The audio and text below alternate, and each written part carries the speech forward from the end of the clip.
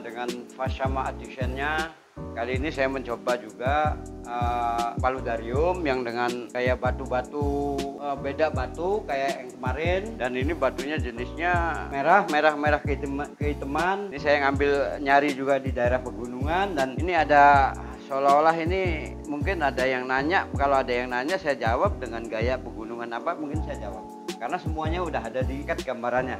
Baik pemasangan ini dan batu Pak ini daerah sini udah udah selesai. oh iya pak Saya itu- boleh boleh bantuin nggak? boleh pak Boleh itu paling rumput ya. iya saya Oke. boleh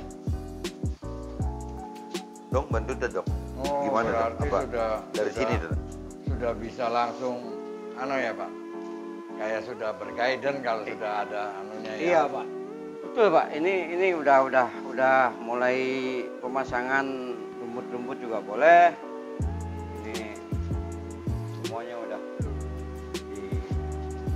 ini sebentar dong kurang dong terus dong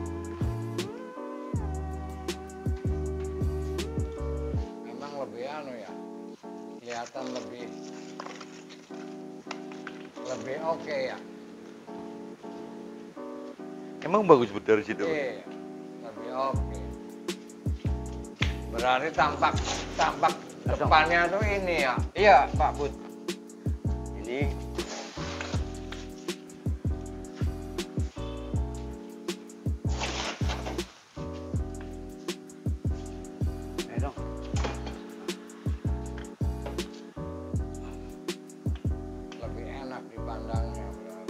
Nah ini Bud. Ini tinggal Iya.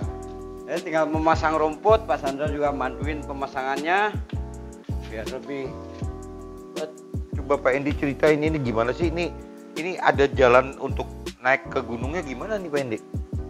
ini kalau seolah-olah seolah-olah Apa ya, nggak ada jalan ini sih? ada ini seolah-olah ini ada jalan Nanti Oh mungkin- yang gini-gini nih. Ya, mungkin ini ada jalan dari naik ke atas karena semua biasanya kalau gunung itu kombinasi didominan dengan ah, hijau, Pak. Hijau, hijau, hijau. Mungkin ke depan juga saya akan saya pasang kayak seolah-olah kali, Pak. Oh. Ada kali, ada Kali danau. itu apa Pak? Kali itu sungai itu maksudnya. Oh. Sungai ya, sungai-sungai kecil, ada danau gitu. Nanti seperti itu yang nanti ke depannya saya pasang, teman-teman. Berarti ini tuh memang sudah kelihatan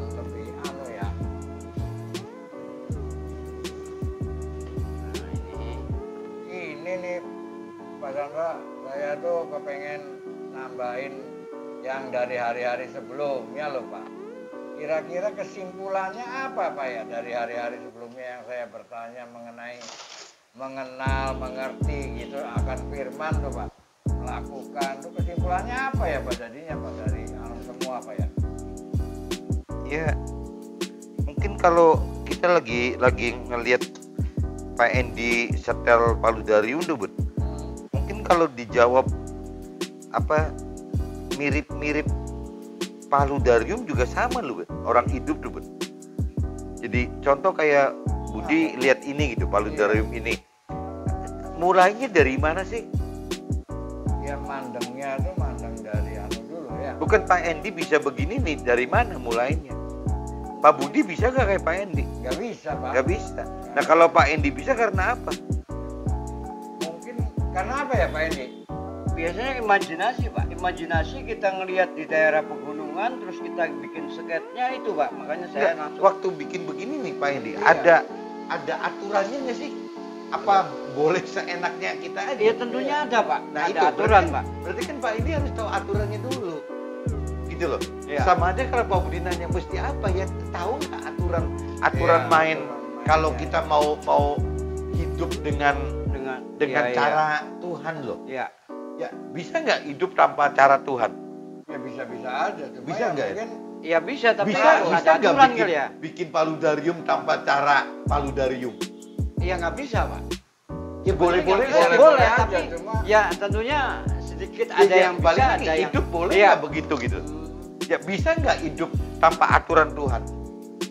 Ya bisa. bisa kan? iya Cuma ya Bisa nggak bikin paludarium tanpa aturan paludarium? bisa. Bisa. Cuma Cuma nyasar- jadinya kan, ya jadi Iya. airnya kan bukan paludarium. iya iya Iya, nggak tahu Nah, campuran apa. Jadi gitu ya.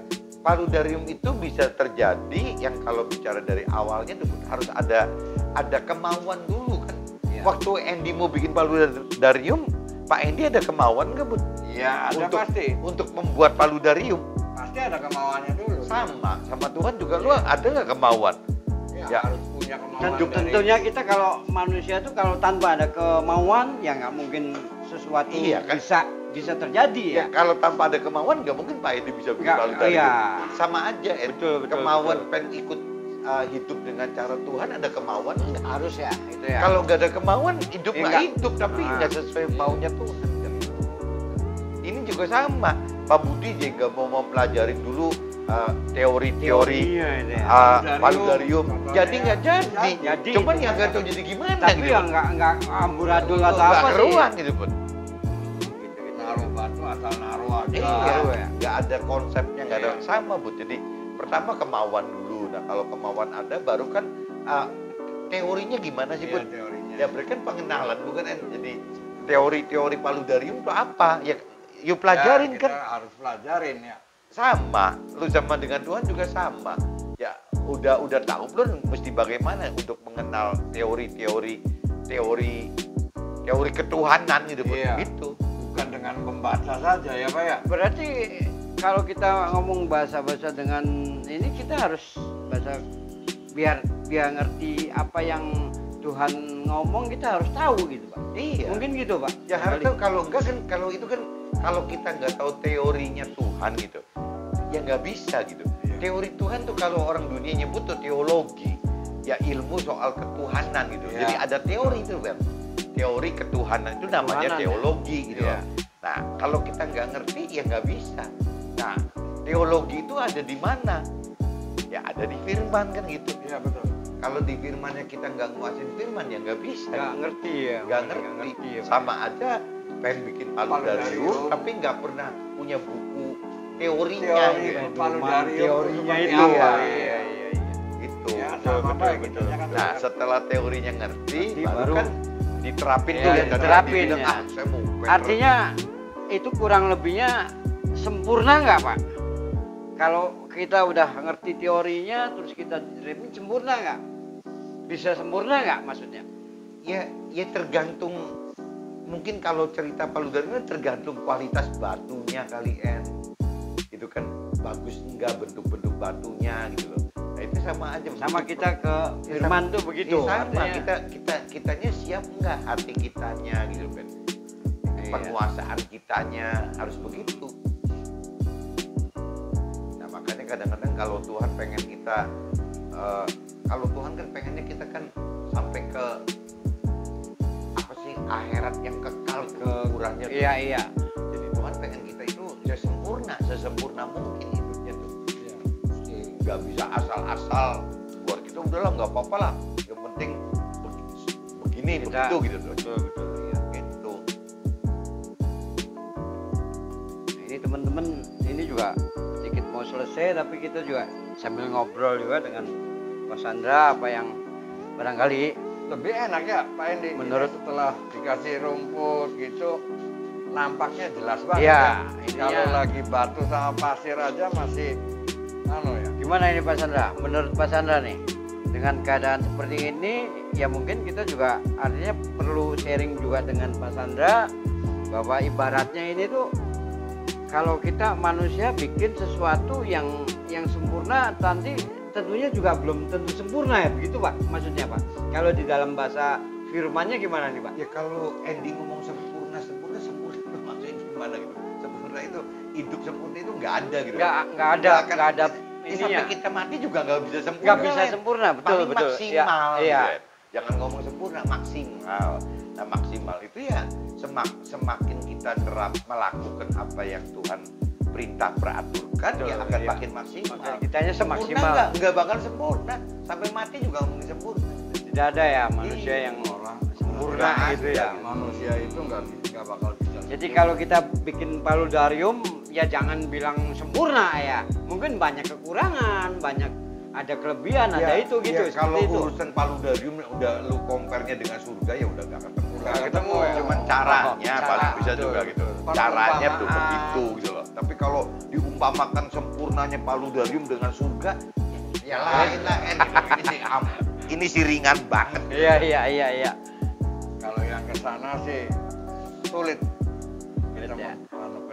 Kalau paludarium gini nih, ini kan kisarannya cuman ada di jiwa. Iya.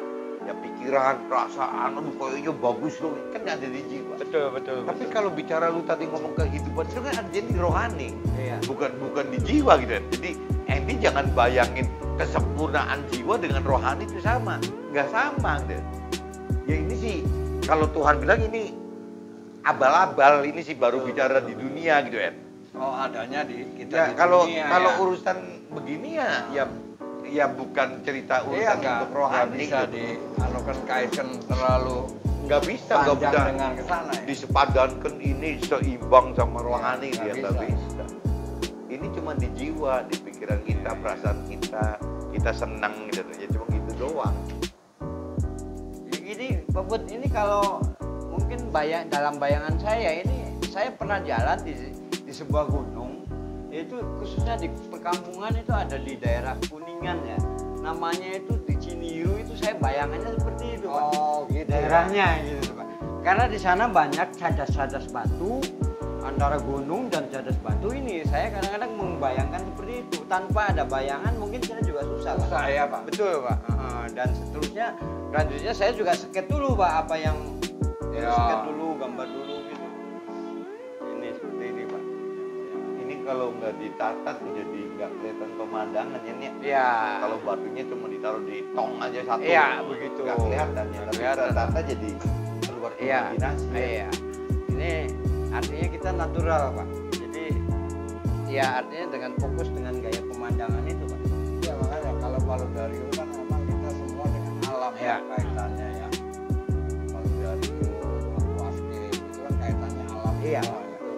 Gini Pak, sambil ngomong kita juga udah banyak bicara, udah banyak sharing dengan Pak Sandra, Pak Budi, saya udah bisa bikin uh, paludarium dengan gaya saya sendiri. Oke lah sampai di sini dulu teman-teman. Mungkin jangan lupa saya sekali lagi bilang mohon kalau mau pesen kaos di sini alamatnya. Dan Pak Sandra juga pakai Pak eh Pak Sandra pakai, Pak Budi juga pakai sama tuh yang seperti itu kaos-kaosnya. ya? Iya. Ah, Warnanya juga boleh, hitam, merah, putih banyak. Oke, Nah, sampai di sini dulu, logo logo Fasama Design itu seperti itu teman-teman. Ya, ini ini logonya Fashamanya Logonya seperti logo ini. umum. Nah, ini logo-logonya. Dan ini juga banyak warna juga ada. Barangkali mau seneng. Sampai di sini dulu, teman-teman. Jangan lupa pen subscribe-nya ya.